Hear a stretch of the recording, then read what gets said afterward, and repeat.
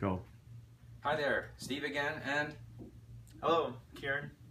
and we're going to go over your questions, which we've collected. Now, I can't answer all the questions, but I've collected them to some extent, and we're going to hopefully answer most of the questions. So go ahead, shoot Kiran. Okay, so the first one writing systems cause problems in language learning. How do you deal with different writing systems in Chinese and Russian, etc.? and eh, etc. Exactly, Korean. And I remember the question was, how do you like Chinese? How do you start listening and reading when you can't read anything? With Chinese, what I did when I learned Chinese, I spent the first month only sort of listening and using Pinyin. In those days, it was a different system for you know uh, using a Roman or a Latin alphabet. So I listened and I read in the Romanization system that, that we used at that time. And then after a month, I went heavy duty into learning the characters. And I learned the first thousand most frequently used characters as a deliberate exercise. I would study 10, eventually 30 a day, forget them, relearn them, separate from my reading and listening. After about a thousand characters, I just learned the, the characters as I went. But with a character-based writing system, you have to make a deliberate effort to learn the characters. Once you get to a phonetic writing system, like uh, like Cyrillic script for Russian is really not very difficult because it's kind of almost parallel to the Latin alphabet with a few other symbols. So basically, you, you learn it, you don't really understand it, you start reading, it's difficult to read, you continue reading and listening, and gradually it becomes more and more comfortable. The same is true for, say, the Korean script or the kana script in Japanese. Those are easier to get used to, and you get used to them as you read. But where you have characters to learn, that's a that's a big chore. You have to do it, and you have to do it every day, and consistently for a good, you know, few months. Okay. So the next one. In English, the spelling is so irregular that pronunciation becomes a problem. How do you deal with that? We got a bit of a message coming in. Yeah, in English, that's almost another situation where the writing system is different from the way the language is pronounced. Okay. Someone asked me to use the International Phonetic Alphabet. I don't. But Okay. maybe if, if Hmm.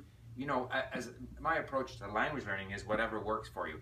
I'm not interested in learning another writing system because I have to get used to how those char- those symbols are used to represent these sounds. And so I listen to the sounds and I see how it's represented in that language and I try to get used to it. So, yeah, with English, you just have to get used to the fact that, you know, O U G H can be though, thou, uh, you know, all uh, tough, rough, through. Just have to get used to it. Uh, so uh, personally, I don't use the IPA, International Phonetical Phonetic Alphabet, but some people love it, so it's just a matter of choice. All right. Okay, so here's another good one. Uh, I'm learning English in Vancouver. Most graded readers use the British accent. Is this a problem if I want to learn to speak with a North American accent? Okay, the issue of accents comes up all the time, not only in English, Yeah. but in Spanish, in Portuguese. There's many languages where, you know, the pronunciation can vary from region to region. That is to say, the native speaking, you know, pronunciation. Personally, I don't worry about it. My main job when I start learning a language is to make sure I can understand and that I accumulate a large vocabulary. Mm. So typically for Spanish, for example, I want to make sure that I can un- understand someone from Mexico, from Argentina, from Spain, uh, in Portuguese, someone from Brazil and from Portugal. However, I then decide which pronunciation is the most useful to me.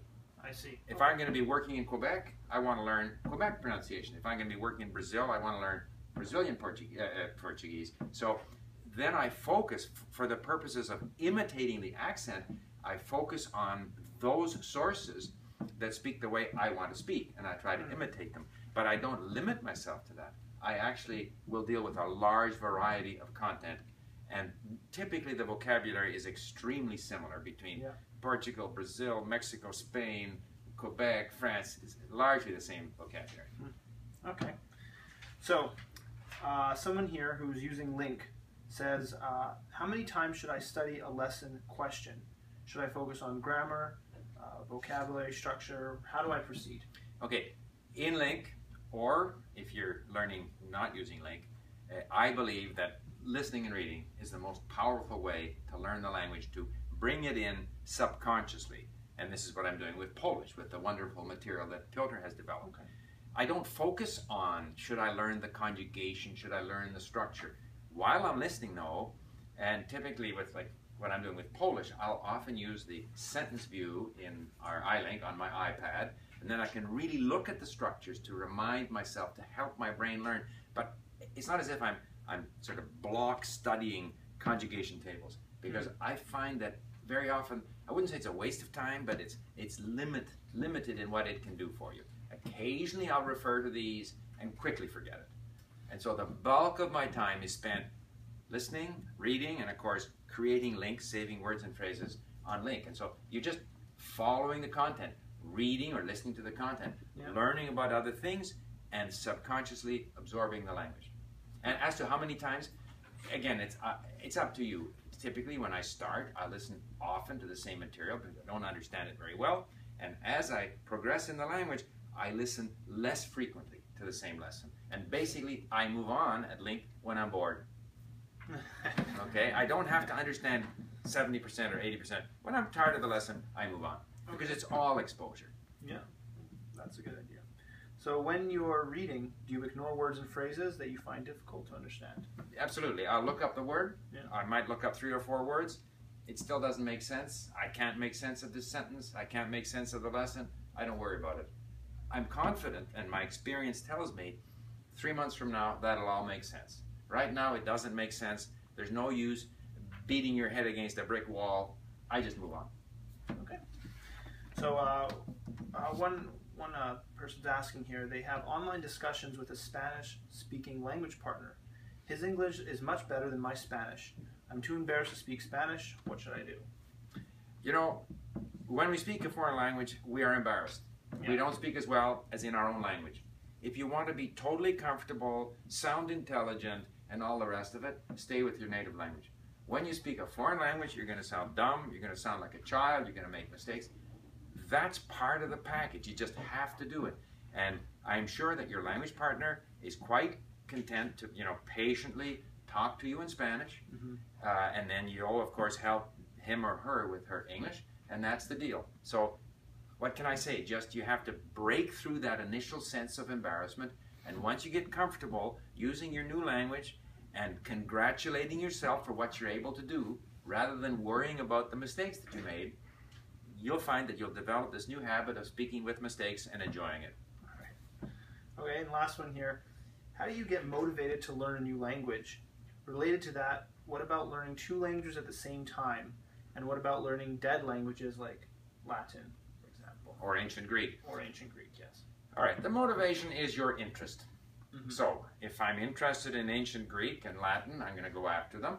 We have Latin at LingQ. we don't have ancient Greek, but the, the learning process is the same. I don't know if there's audio available for ancient Greek. There is audio available for Latin, and we're using it at LingQ. Learning two languages at the same time, if you're learning them both from scratch, is difficult. I don't do it because I find that once I get motivated to learn a language, I'm so motivated that I want to spend all my time on that language. So I really don't have much time for a second language. But I, I don't think it's bad for you to learn two languages at the same time. In fact, to some extent, it may help you. It might be very good for the brain to keep things fresh. But because motivation is such a big part of language learning, in fact, if I'm motivated, like now, to do Polish, I find it very difficult to take time away to spend on my Korean, for example. Okay. Well, that was it That's it. week. Okay. I hope we answered every question and uh, continue on your 90 day challenge. See you guys next time.